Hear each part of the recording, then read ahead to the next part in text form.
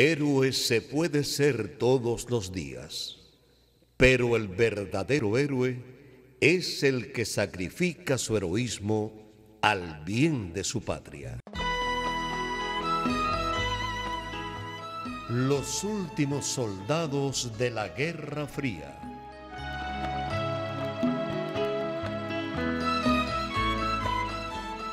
Obra original de Fernando Moraes, adaptada para la radio por Manolo Ramos.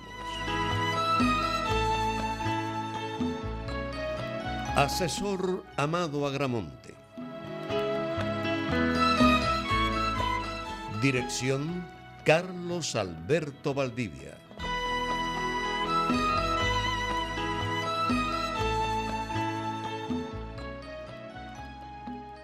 Dijiste que es extraño.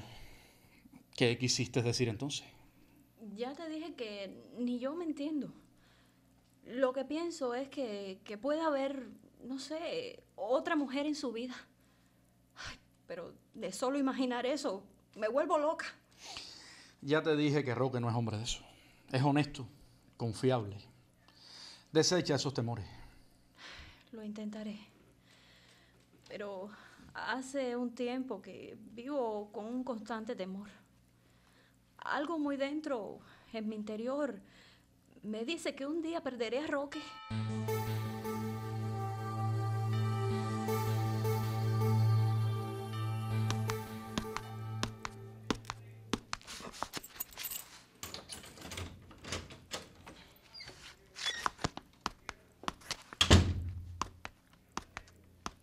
Bien, Julio. Algo nuevo con este René González. No, Mar.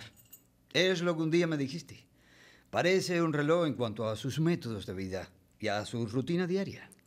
¿Crees que necesitemos conseguir otro puesto de observación? No me parece. Este lugar es un excelente centro de operaciones. Tenemos poderosos binoculares que nos facilitan una visión perfecta de todos los elementos de su apartamento que incluso cuentan con lentes especiales que nos permiten ver en completa oscuridad. De aquí lo tenemos controlado. ¿Qué han hecho Mirón y tú en estos días? Hemos registrado en blog de papel todos los detalles de la rutina de su vida. A qué hora sale de la casa, cuánto tiempo está fuera, a qué hora regresa y lo que hace cuando está en el apartamento. ¿Y? Ya te digo, Mar, siempre hace lo mismo. Su día a día cambia bien poco. Se levanta temprano, prepara el desayuno, hace algo de gimnasia en un pequeño corredor entre la sala y el cuarto. Baja a la calle y corre durante unos 40 minutos alrededor del edificio. Regresa a la casa y se da una ducha, para luego pasar media hora detrás de una microcomputadora y aproximadamente a las 8 de la mañana sale para el trabajo. Regresa entre las 8 y las 9 de la noche, se sienta delante de la computadora y de allí se levanta para irse a dormir cerca de la medianoche. Mm, ¿Nunca cambia su ritmo de vida? Nunca. Ya te digo, es matemático, como un reloj. Pues si es así, creo que ha llegado la hora de meternos dentro de su casa. ¿Lo crees, Mar? ¿No piensas que es muy apresurado? No. Vamos a meternos en ese apartamento y revisarlo todo. Hasta su computadora.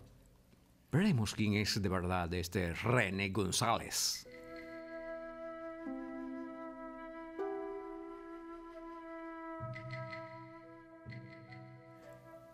La noche deja caer su espeso manto de sombra sobre Coral Gables. Es una noche tranquila y tibia que invita al reposo. Pero a pesar de ser cerca de las doce, no todos duermen. En la habitación que ocupan Roque y Anita, ambos se mantienen despiertos, acostados boca arriba. Ella se voltea de lado y una de sus manos acaricia el pecho del hombre. ¿En qué piensas? En muchas cosas. En ti, en mí, en lo bien que nos va juntos. Roque, tú me quieres, ¿verdad? Mucho. ¿Por qué me preguntas eso? Eh? Porque sí. Porque quiero oírtelo decir. Pues ya te lo dije y te lo vuelvo a decir, Anita. Tú eres una persona increíble y te has ganado mi cariño. ¿Y por qué eres tan misterioso, eh? Misterioso yo. Sí, misterioso. Misterioso y enigmático. No, son imaginaciones tuyas. Tal vez lo sean, pero no. No, mi amor. Hay algo en ti, en tu forma de mirarme, que a veces, no sé, me desconcierta. Pero, ¿cómo es eso? Sí, Roque. Tus ojos hablan por tus palabras. Bueno, ¿y, y qué ves en ellos? A veces me diriges una mirada, no sé, extraña. Una mirada extraña. Sí.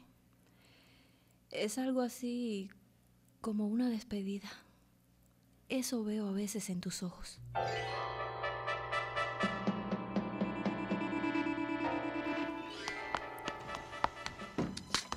Mucho cuidado donde pisan y cómo dejan las cosas que registran. No quiero que este hombre se imagine que es chequeado. Julio, Dime, Mark. vamos a intervenirle el teléfono e instalarle a las dos habitaciones dispositivos de escucha. Y Miron, Está controlando con el binocular la puerta de entrada del edificio para evitarnos sorpresas indeseadas. Si René viene lo sabremos antes de que llegue al apartamento y podremos salir. bien. Quiero que fotografíen diariamente cada gaveta, cada armario y cada objeto de este cuarto para comprobar si cambia algo. Ah, Julio, al final de la revisión vamos a instalar un disco duro a la computadora de René para copiar todas las operaciones, envíos y recibos de mensajes realizados por este Cuba.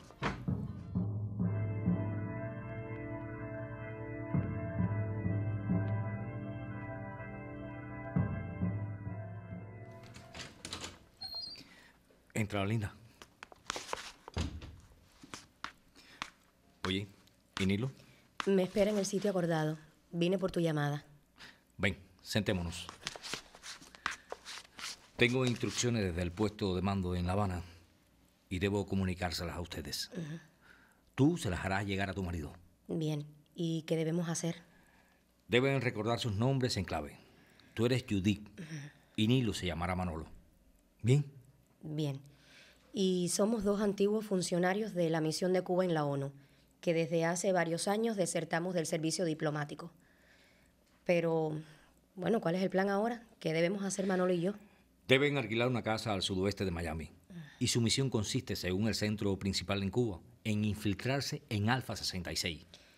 Ese es uno de los dos grupos más antiguos y agresivos del terrorismo en la Florida, ¿no? Así es, y por tanto uno de los más peligrosos a la hora de penetrarlo. Fue fundado en 1966 por Eloy Gutiérrez Menoyo y dos cubanos más. A pesar de tener un enorme historial de atentados y actos violentos en su haber, Alfa 66 tiene una existencia legal con registro oficial en la alcaldía de Miami y sede en plena calle 8. Esa es la calle de mayor movimiento en la pequeña Habana. Así es, pues bien, en esa organización deben infiltrarse ustedes.